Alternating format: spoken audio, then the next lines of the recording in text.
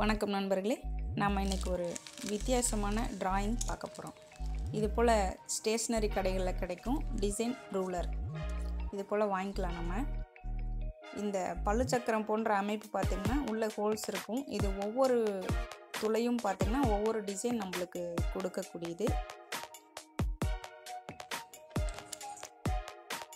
Colour stick use பண்ணுங்கள் அல்லது colour refills use பண்ணுங்கள் வாங்க எப்படி பண்ணுறதுன்னு பார்க்கலாம். இந்த பெரிய வட்டத்துக்குள்ளே இந்த சின்ன பழுச்சக்கரம் போன்ற அந்த சிறிய வட்டத்தை வச்சு அது ரெண்டுத்துக்கு ஒரு பிணைப்பு ஏற்படக்கூடிய வகையில் நம்ம ஓரத்தில் ஒட்டி வச்சுக்கலாம். அந்த பல்லு சக்கரம் ரெண்டும் உறைஞ்சி வரும் பொழுது தானாக நம்மளுக்கு உள்ள ஒரு டிசைன் க்ரியேட் ஆகும். பாருங்கள் இது போல் கொஞ்சம் பொறுமையாக பல்லு சக்கரம் ரெண்டும் ஒட்டி வர்றது மாதிரி பண்ணும்பொழுது தான் இந்த அழகான ஓவியம் நம்மளுக்கு கிடைக்கும்.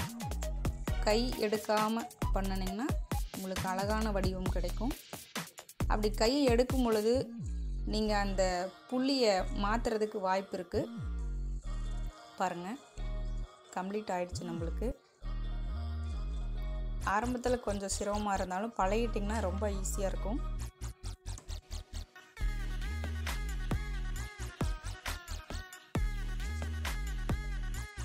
நம்ம ஒரு கலர் இல்லை ரெண்டு மூணு கலர் யூஸ் பண்ணியும் இதை நம்ம பண்ணலாம். நீங்கள் எந்த புள்ளியை தேர்ந்தெடுக்கிறீங்களோ அதே புள்ளியவே கடைசி வரைக்கும் பண்ணும்பொழுது ஒரு டிசைன் கிடைக்கும். நம்ம புள்ளியை மாற்றி பண்ணும் பொழுது வேறு வேறு கிடைக்கிறதுக்கு வாய்ப்பு இருக்குது பாருங்கள் இது போல் நான் ஒரு சில பண்ணியிருக்கேன். இது போல் ஒரு நிறம் மட்டும் பயன்படுத்தாமல் பல நிறங்களை பயன்படுத்தி நம்ம இது போல் வரையலாம். குழந்தைகளுக்கு நிறைய பொருட்கள் நம்ம வாங்கி கொடுக்குறோம். இது போல் ஒரு சில உபயோகமான பொருட்களும் வாங்கி கொடுங்க. அவங்க ரிலாக்ஸ் பண்ணுறதுக்கு இது ஒரு நல்ல உபயோகமான பொருளாக இருக்கும். ஸ்டேஷ்னரிலையும் கிடைக்கக்கூடியது தான் க்ரியேட்டிவிட்டியை ஊக்குவிக்கிறதுக்கான ஒரு டிராயிங்னு கூட இதை நம்ம சொல்லலாம். முயற்சி பண்ணுங்கள் இந்த வீடியோ உங்களுக்கு பிடிச்சிருந்தால் லைக் பண்ணுங்கள் ஷேர் பண்ணுங்கள்